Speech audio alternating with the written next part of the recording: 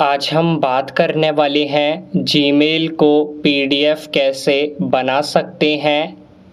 तो इसके लिए आप अपने फ़ोन में जीमेल एप्लीकेशन को ओपन करिए।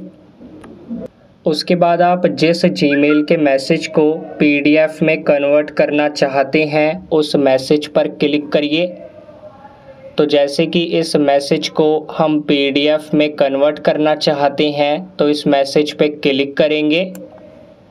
मैसेज पर क्लिक करके मैसेज को ओपन करने के बाद ऊपर राइट साइड में, कॉर्नर में तीन डॉट पर, यानी कि थ्री डॉट पर क्लिक करिए।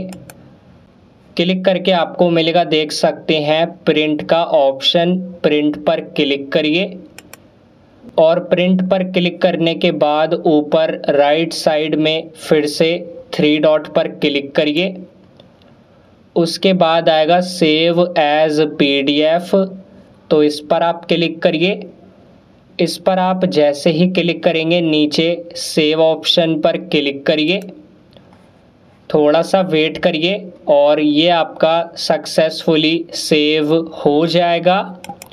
अब हम चेक कर लेंगे अपने फ़ोन में फ़ाइल मैनेजर में या फिर माई फाइल्स में जाकर। जैसा कि देख सकते हैं डॉक्यूमेंट्स में हमारा ये पीडीएफ यानी कि जीमेल मैसेज का पीडीएफ आ चुका है। तो इस तरीके से जीमेल का पीडीएफ आप बना सकते हैं।